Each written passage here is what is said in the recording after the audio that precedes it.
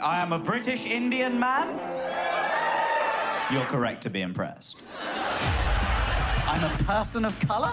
Not sure when that one happened, by the way. Felt like I spent most of my life being told that colored was one of the most offensive things I could conceivably be called. And then someone was just like, oh, here, speaking as a person of color, how do you feel about. What, fam? What? What? What? Oh, no, everyone thinks it's fine now. It was always the little things that got me down, you know, insignificant in and of themselves. Like, my own phone autocorrects my name to the word shit.